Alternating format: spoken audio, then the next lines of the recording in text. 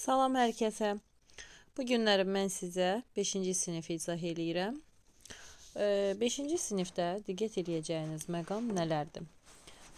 Bunu daha çox belə deyim, xırdalıqları var və bu xırdalıqları çalışmaq lazımdır oxumaq. Nə simvoludur, nə mənasıdır, nə deməkdir. Bax bunların hamısına diqqət eləmək lazımdır. İndi mən o hissələri sizə izah eləyəcəm. Ola bilər ki, kitabdan oxuyanda Misal üçün sizin gözünüzdən qaçan məqamlar olub və s. və çalışacağam ki, bu məqamların hamısını sizin üçün vurğulayım. Deməli belə, başlayaq 5-ci sinif ilk mövzusundan. 5-ci sinifin ilk mövzusu dekorativ tətbiqi sənətlə bağlıdır. E, belə deyim, təsvir incəsənət ixtisasını bitirən hər kəs bilir ki, dekorativ tətbiqi sənət təsviri sənətin növlərindən biridir və dekorativ tətbiqi sənəti ümumiyyətcə dekor sözünü isə biz 5-ci e, sinif, əgər o birisi 5-ci sinifi oxumusunuzsa, palitra üzrü 5-ci sinifi, artıq orada bizə məlumat var. Dekorativ tətbiqi sənət xalq sənətidir və e, dekorativ tətbiqi sənətdə dekor sözü var bilirik ki, dekor bəzəmək deməkdir. Latın dilindən tərcümədə bəzəmək, bəzəkli sözündən götürülmüşdü ki, bəzəməkdir mənası. Sonra növbəti bir səhifəyə keçəndə biz artıq burada belə bir cümlə ilə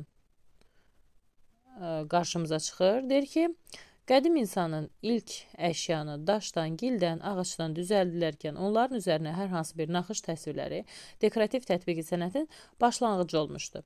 Bunu nəzərdə tutur ki, bu cümləni, yəni dekorativ tətbiqi sənət sənətin yaranması bir növ başlanğıcı olmuşdur. O deməkdir ki, dekorativ tətbiqi sənətin yaranması. Dekorativ tətbiqi sənətin yaranması da deməli ilk ə, e, əşyaların üzərinə hər hansı bir ağacdanmı, daşdanmı və s. də bilirsiniz ki, qədimdə ağacdan, daşdan, gildən müxtəlif belə deyim, özləri üçün qab-qacaqlar düzəldirdilər. Həmin bu qab-qacaqların üzərində isə naxışlar vururdular ki, həmin bu naxışlar dekorativ tətbiqi sənətin başlanğıcı, yəni yaranmasına səbəb olmuşdur. Və burdakı həmin bu qablar isə göstərilən bu qablar hansı ki o qədimdə deyirdi ya e, daşdan, gildən, ağacdan.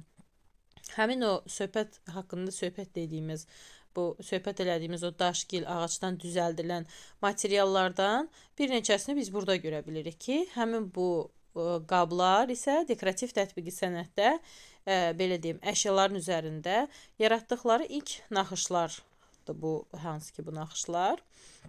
Sonra biz burada görə bilirik hər hansı bir təbiətdə olan obrazları. Fikir verin, həmin bu obrazları insanlar nə etmişdilər? Ümumiləşdirmişdilər və hər hansı bir e, işarə formasına gətirmişlər. Fikir verin, e, quşun şanapipik quşuna biz baxanda görürük ki, nədir? Şanapipiyin e, belə deyim, pipikləri var. Düzdürmü? Naxış formasına baxın, üzərində pipik şəklində nə var? Ümumiləşdiriblər də hər hansı bir işarə formasına gətiriblər bu həyatda gördüyümüz obrazı. Və yaxud da ki, həyatda e, dəvəni hər kəs görüb, bilir ki, dəvənin beli var. Fikir verin, naxışı nə edibdi? İşarə formasına gətirərək bu dəvəni nə edib? İşarəli şəkildə göstərib və eyni zamanda dəvənin o belini vurğulayıb ki, dəvənin fikir verin, beli daha üçbucaq şəklində göstərilib. Deməli nədir? İnsanlar qədimdə hər bir ə, e, gördükləri təbiət motivlərini, quşu, heyvanı və s. Ə, e, reallıqdan daha fərqləndiriblər və nə ediblər? Onu ümumiləşdirərək işarə formasına gətiriblər ki, bu da dekorativ tətbiqi sənətin özünə məxsus bir bədii dilinə çevrilibdir də, düzdürmü? Hər bir şeyin özünün bir özünə məxsus xüsusiyyəti, özünə məxsus dili var da.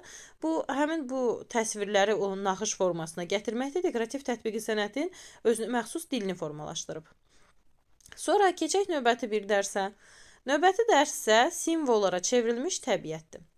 Ümumiyyətcə, bax görürsüz ki, biz burada 4 dənə simvol görə bilirik. Günəş, bərəkət, su və torpaq simvolunu görə bilirik.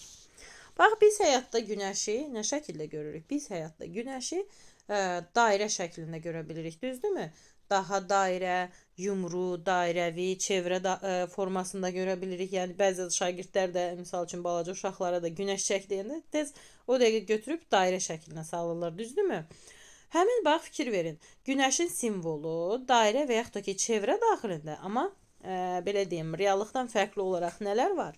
Çevrənin daxilində gəlin baxaq, çarpaz xətlərə baxın. Da çevrənin daxilində ya 2 dənə fikir verin 1 2 3 3 dənə göstərilib dairə və s. fikir verin daha 3-dən daha çox göstərilib. Deməli çevrənin daxilində həmin bu dairələr və yaxud da ki, lap aşağı gəlin baxaq. Görürsüz nə var? Çiçək təsviri var. Çevrə daxilində çarpaz xətlər və yaxud da ki, çiçək formaları günəşin günəşi simvolizə edir və günəşin simvoludur. Sonra gəlin baxaq bərəkətə.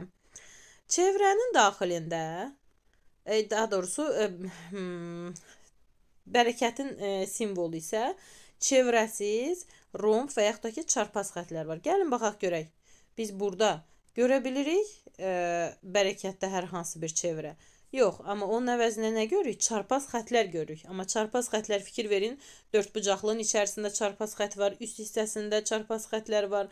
Romb fiqurlarına baxın. Romb fiqurları gah ə, qıraqlarında xırda formalı yuxarı dörd hissəsində də, dörd bucağında da romb fiquru göstərilib və yaxud da ki, xətlər göstərilib və yaxud da ki, saylıca romb fiqurları göstərilib. Deməli, çevrəsiz, həqiqətən də çevrə olmadı bərəkətdə, romb və yaxud da ki, çarpaz xətlərin hüdudsuz təsvirlərindən ibarət oldu. Bərəkətin simvolu, suyun simvolu. Bana fikir verin. Bəzən şagirdlərə deyəndə su çək, götürürlər sadəcə dalğalı şəkildə çəkirlər. Su ümumiyyətcə necə olur? Dalğalı olur da, düzdürmü? Suda dalğalı, maili və yaxud da ki, sınıq xətlərdən istifadə olunursa, bu suyu simvolizə edir. Sonra gəlin baxaq torpaq simvoluna. Torpaqda isə çevrə daxilində hər hansı bir romb fiqurları, fikir verin bax, biz gəlin günəşlə müqayisə eləyək. Günəşə baxın. Günəşdə sadəcə nə oldu? Dairə və yaxud da ki, çevrə oldu. Amma içərisində fikir verin, romb hər hansı bir heç nə olmadı da, sadəcə gün çiçək təsvir oldu günəşdə. Amma çev e, torpaqda necədir? Çevrənin daxilində fikir verin, çarpaz ya şeylər olur, rom fiqurları və yaxud da ki, dairələr, xırda-xırda var, fikir verin, dairələr müxtəlif formalarda ya rompların içərisində dairələr göstərilib və yaxud da ki, fikir verin, da çevrənin daxilində rom fiqurları göstərilib. Deməli, mütləq fiqur olmalıdır. Hər hansı bir torpaqda fiqur olmalıdır. Çevrə daxilində rom fiqur və yaxud da ki, kiçik dairələr varsa, düz üfüqi xətlər varsa, bunlar torpağı simvolizə edir. Sonra bax bu gördüyünüz təsvir isə həyat ağacıdır. Həyat ağacının fikir verin üzərində nə görürük biz? Həyat ağacının üzərində çoxlu iri güllər görürük. Rastımıza çıxır iri güllər və yaxud da ki e, meyvələr və yaxud da ki bitki təsvirləri. Bunlar hamısı həyat ağacını nə edir? E, formalarıdır. Həyat ağacı ə, e, xoşbəxtliyi simvolizə edir. Çalışın ki, nə nəyin simvoludur? Yenə dediyim kimi o biləsiniz. Həyat ağacı deməli, bax fikir verin. Xoşbəxtlik, bax burada yazılır. Xoşbəxtliyin göy işarə ilə göstərim. Xoşbəxtlik arzulayan simvol hesab olunur həyat ağacı. Sonra gəldik çıxdıq xalqın sevilən obrazına. Yenə mavi rənglə işarəliyim.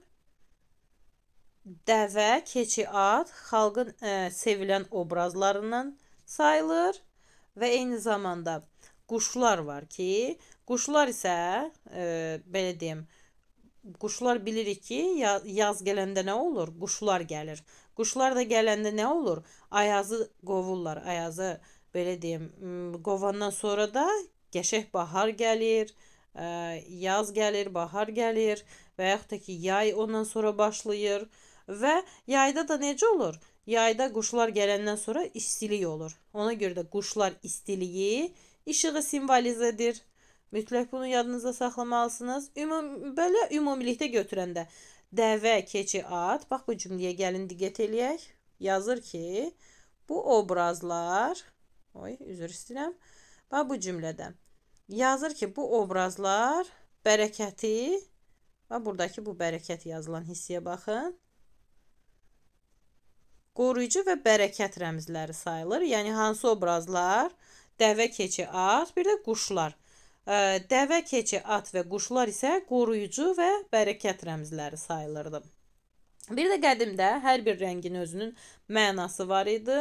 Tutaq ki, qırmızı və sarı rənglər var idisə, bu həyatı, ağ rəng isə saflıq və paklıq rəmzi sayılırdı.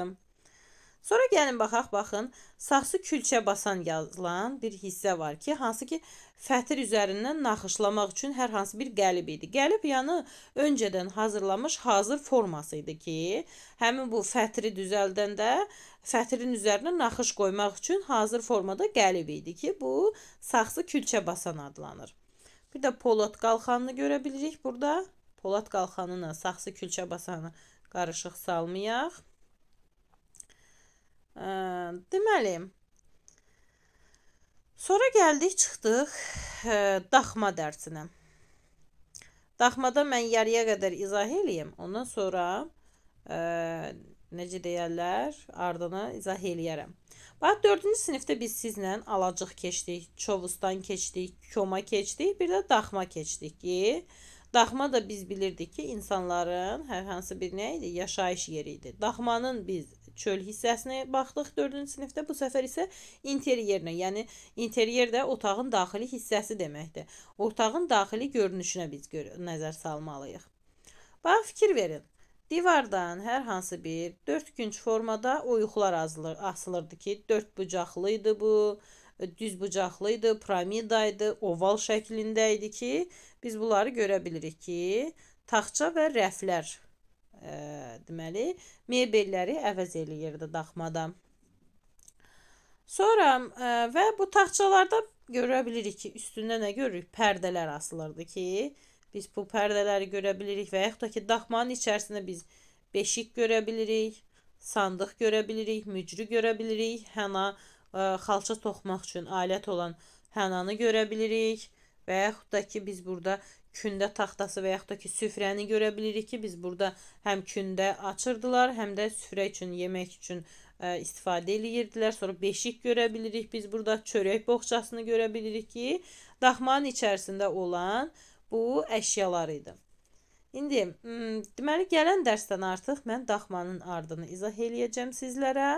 Ə, videonu like eləyin ə, və kanala abunə olun.